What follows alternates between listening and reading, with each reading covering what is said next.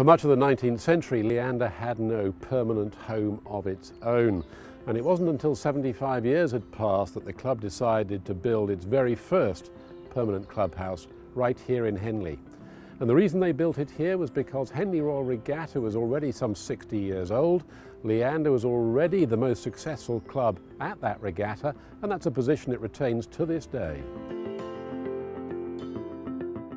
In 2018, Leander celebrates its bicentenary, and this is where it all started, way down in Lambeth on the site of what is now St Thomas's Hospital. It was there that for the very first time in 1818, uh, six gentlemen of that era climbed into a boat called the Leander.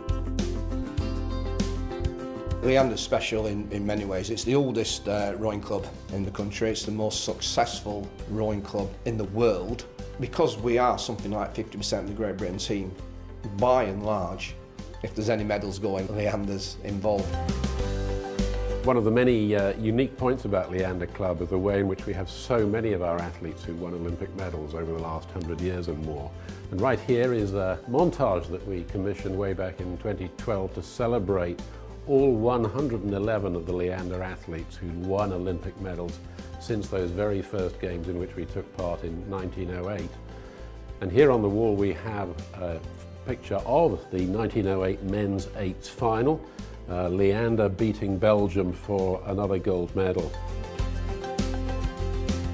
So we're now standing in the members room here at Leander and above our heads we can see some of the oars that either Steve Redgrave or Matthew Pinsent had used to amass their total of nine Olympic gold medals between them. Really I was probably the first full-time athlete here um, very big weekends that uh, all the national men's team used to come here and train at the weekends and that was really I think the start of, of something big that Great Britain done and, and Leander was very much at the heart of that. Two of the most famous athletes in Leander's long history are Don Burnell and his son Richard. Don Burnell won an Olympic gold medal as a member of the GB Men's 8 in 1908 and here is that medal. And then when uh, Don's son Richard won gold at the 1948 Olympics.